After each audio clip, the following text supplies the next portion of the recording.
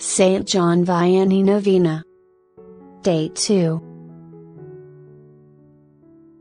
In the name of the Father, and of the Son, and of the Holy Spirit. Amen. Intro Prayer. St. John Vianney, you exemplified, what a holy priest of Christ should be. Your patience and fortitude in the confessional, demonstrated the mercy of God, to the penitents who sought forgiveness for their sins.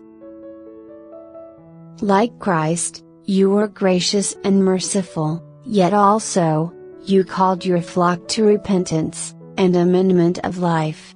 Help me through your powerful intercession, along the path to sanctity, that our Lord has prepared for me.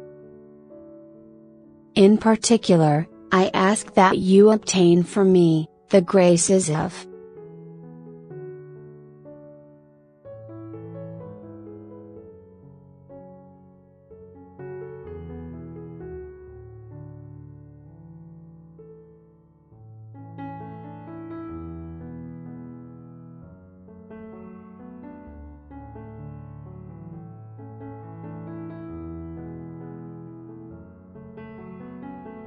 Amen.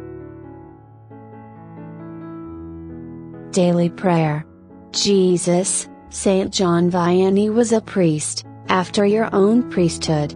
Give me the courage, to proclaim and live the gospel boldly, as he did. Our Father, who art in heaven, hallowed be thy name. Thy kingdom come, thy will be done, on earth, as it is in heaven. Give us this day our daily bread and forgive us our trespasses as we forgive those who trespass against us, and lead us not into temptation, but deliver us from evil. Amen. Hail Mary, full of grace, the Lord is with thee.